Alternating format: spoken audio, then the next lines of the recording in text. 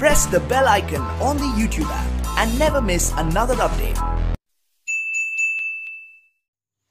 जय श्री राम दोस्तों, स्वागत है आपका मेरे YouTube channel the excellent academy में। मैं आर्ट एंड कल्चर का आज महत्वपूर्ण टॉपिक लेकर आया हुआ हूँ। टॉपिक का नाम है भीम बेटका भीम बेटका के बारे में आज हम चर्चा करेंगे और इसके इतिहास के बारे में जानेंगे कि कैसे क्या है।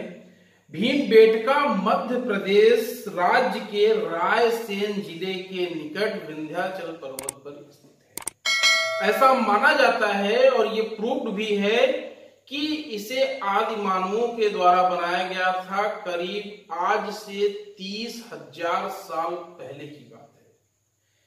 तो अगर हम इसके प्रमुख तथ्यों की बात करें तो भीम बेटका की खोज वर्ष उन्नीस सौ सत्तावन अट्ठावन ईस्वी में डॉक्टर विष्णु श्रीधर वाकड़कर नामक व्यक्ति के द्वारा किया गया था। भीम बेटका गुफा में भारत में मानव जीवन की प्राचीनतम चिन्ह मौजूद है। इन गुफाओं में सबसे प्राचीन चित्रकारी लगभग बारह हज़ार वर्ष पुराना माना जाता है। भीम बेटका गुफाओं की विशेषता यह है कि यहाँ की चट्टानों पर हज़ारों वर्ष पूर्व बनी चित्रकारी आज भी मौजूद है।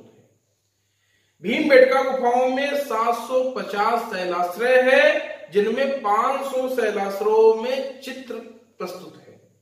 भीम बेटका गुफाओं में अधिकांश चित्र लाल और सफ़ेद रंग के हैं, और इसके साथ कभी कभार आपको हरे एवं पीले रंग के भी चित्र जिनमें दैनिक जीवन की घटनाओं से ली गई है, विषय वस्तुएँ चित्रित हैं।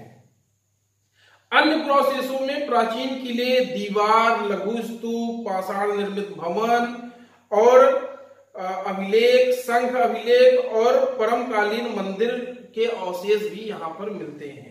भीम बेटका क्षेत्र को भारतीय पुरातत्व सर्वेक्षण भोपाल मंडल ने अगस्त 1990 में राष्ट्रीय महत्व का स्थल घोषित किया था।